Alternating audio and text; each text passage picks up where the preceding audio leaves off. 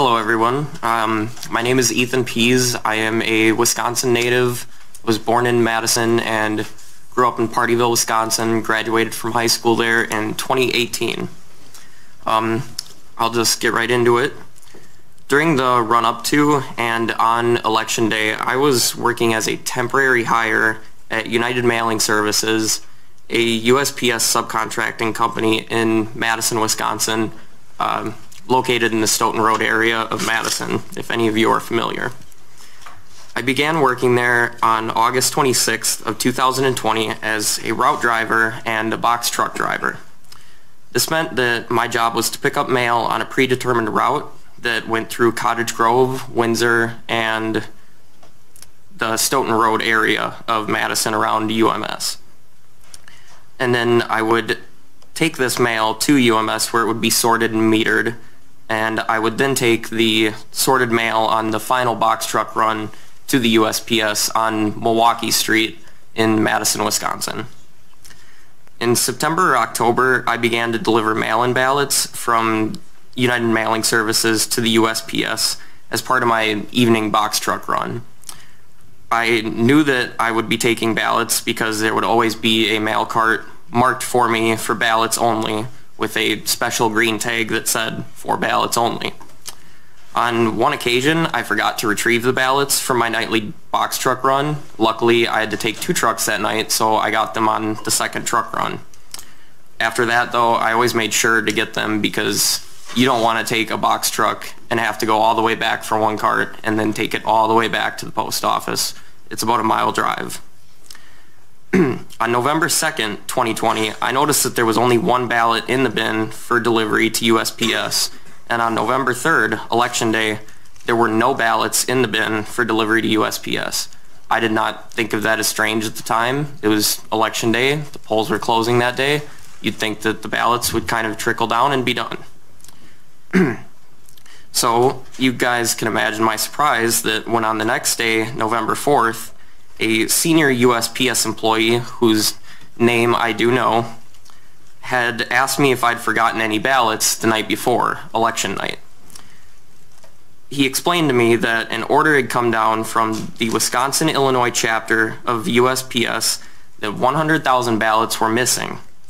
He then told me that his post office, the one at Milwaukee Street in Madison, Wisconsin, had dispatched employees to look for the missing ballots around 4 a.m. November 4th. He said, and I quote, around 4 a.m. And that only seven or eight ballots were found at United Mailing Services, my work. Based on my previous experience and habit of double checking for the ballots, I believe that to be a lie immediately. The following day, November 5th, 2020, I had a conversation with a different USPS employee, whose name I also know, in which she admitted that USPS employees were ordered to backdate ballots that were received too late to be lawfully counted. I asked this employee if I would be getting in trouble for those ballots the night before with my own boss, uh, just kind of making sure that I was covered, because at first I did think perhaps I did miss ballots, but I couldn't have if they weren't on the cart where they're supposed to be. The employee said uh, the employee said, no, I wouldn't, as long as they were postmarked for the third. And then she hesitated for a moment and said that's why they had us do that, referring to USPS employees. I didn't bring any of this to the attention of the supervisors at the USPS at the time due to what I perceived to be their hostility towards the president and their evident contempt of the law.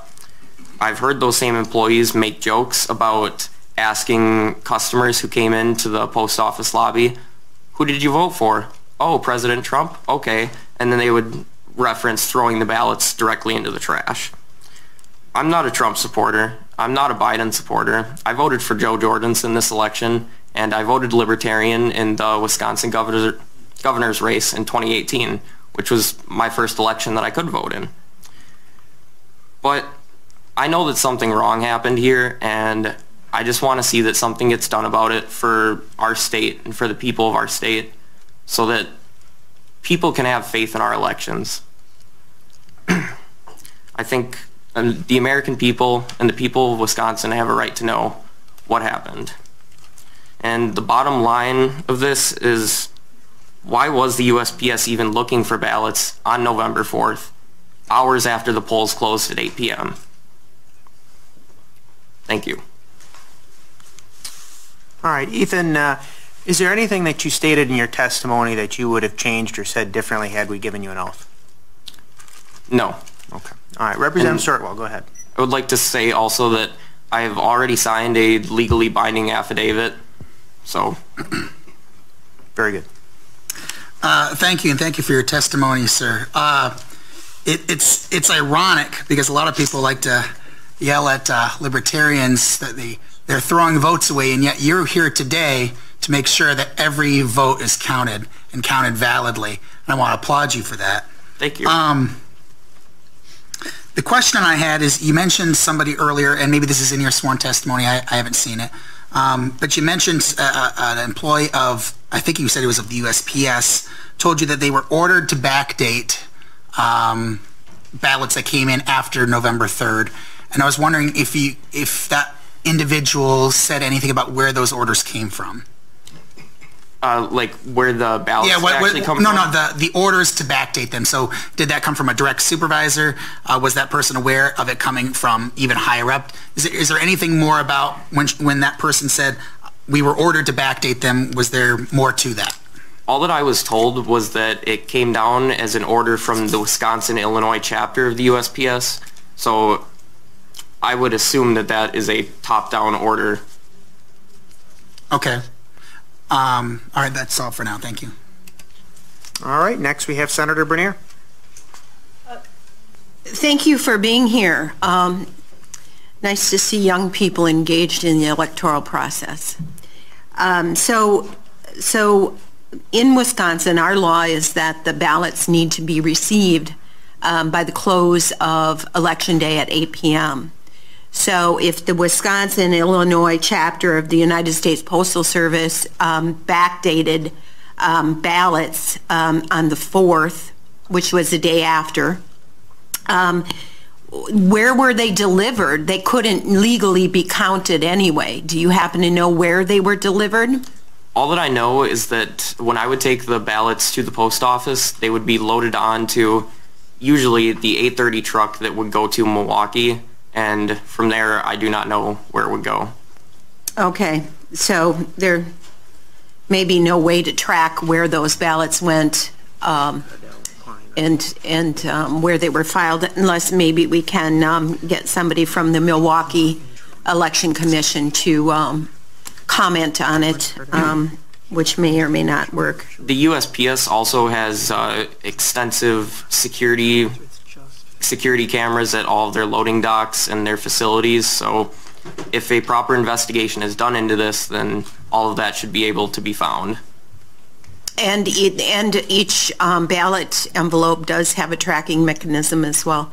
Okay, so um, any unofficial, um, you know, uh, question to you, and it's more, I'm, I I want to know your opinion. Um, It seems um, the United States has a culture issue in regard to conservatives versus liberals, um, which, um, since you're an- a young person, um, do do you think that this cancel culture thing has crept its way into the United States Postal Service and that they feel an obligation to cancel out conservative voices versus liberal voices? From your testimony, I glean that. But you, you are in that culture, and I want to know um, your opinion on that, and if that is um, what seems to precipitate their behavior here.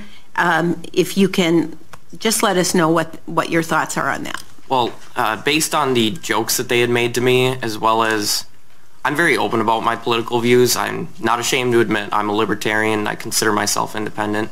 Um, and I have been open with that about my coworkers uh, at the time at UMS and USPS. People were pretty dismissive of it, and they said things like uh, one of you said, sometimes people see that as throwing their vote away, and I've been told that millions of times. So I guess just based on that, there's definitely um, a contempt just between anybody's political parties. It doesn't matter if you're left, right, in the middle, libertarian. If you are, if you have different views, people look at you differently. Thank you. All right, next we have Representative Murphy. Thank you, Mr. Speaker. Thank you, Ethan, for testifying today. So how long have you been an employee of the Postal Service? Uh, I began my job as a temporary hire for United Mailing Services through the temp agency Strategic Resources on August 26th. My last day of work with them was November 5th. This didn't have anything to do with you being, not working there. I mean, the, Uh, I your had your affidavit or anything, did that uh, cause, cause problems at work for you? no, um, Okay. I've actually heard nothing from them or the temp agency when I've reached out to ask why I was terminated. Who did you file your affidavit with? Um, Do you, do you mean like who was yeah, it who was, to? yeah, who was it given to? Who, where, Um, I made a formal complaint with the Office of Inspector General. Okay. And just one last thing, how do you feel about the security of the U.S. Postal Service as it applies to voting? As far as, you know, postmarks uh, being an official date and time uh, and, and that sort of thing? As someone who got to directly see how the ballots were moving through the system, uh, mail-in ballots, I voted in person. Um, I didn't want to take any chances with my ballot getting lost or just anything happening to it with the lengthy chain of custody that I've seen firsthand. So I voted here in Madison, Wisconsin. Um, I won't say my polling place. I don't want to give away where I was living. Thank you. All right, very good. I don't see any other questions. We still have some time left. All right, but seeing no other questions, uh, we're, thank you for your testimony. I appreciate it very much. And we're going to go to our next person, who is Eric Cardell. And